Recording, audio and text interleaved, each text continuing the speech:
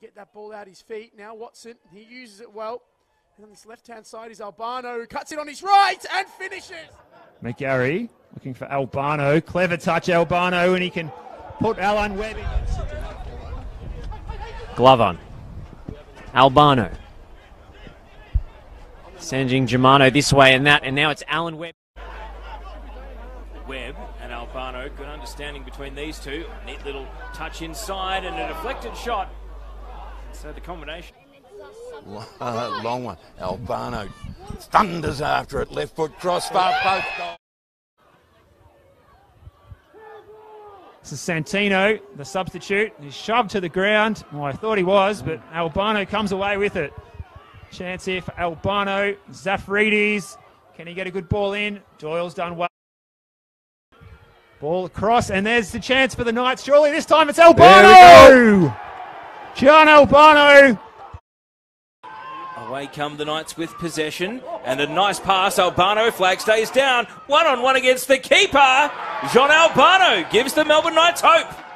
Well, that. Uh, just over half hour here. This is San. different approach in that final third with his pace and his hunger. Well, chance here for Albano. He- Looking to get past two opponents and Mikulic on the quickly to Duzel and then Albano.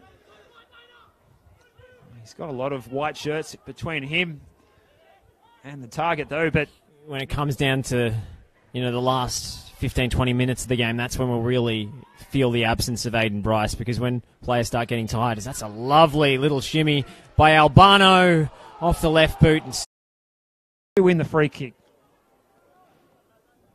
Duzel combining with Albano. Shrugs off a challenge, looking to put in door. Jock. Can he show his pace here? Ozzy.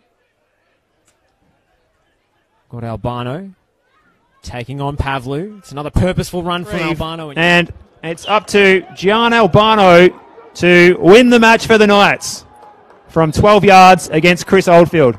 Albano finishes, and that go should on and get another one or or even two uh, as as we stand. Uh, as the ball goes into the box, it's pulled back, and it's uh, Of course, one player they'd love to keep on that contract is Joe Guest, who played that ball into midfield, but Vashini points giving in it first place is looking very good for uh, one of the oldest clubs that Victoria can boast.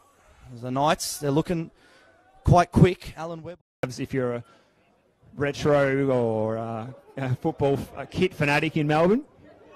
Now, here come the Knights looking to play through the lines again. Ball for Mick. Feely. Of course, around the grounds tonight, the Green Gully and South Melbourne clash is still goalless. Now that's given away. Albano slips it in towards Mikulic, and the shot takes it.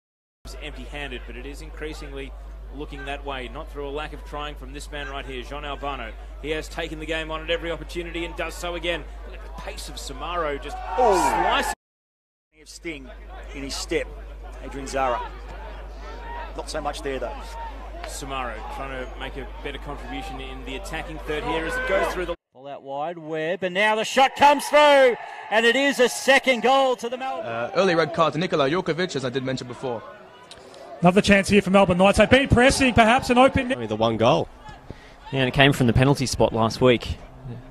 Albano. must have heard us up here in the commentary because he said the same thing transition at pace. So we're spot on with that as we see them try and do it. It's a cheap turn. Take the ball down and a great ball across and a chance here. And the first.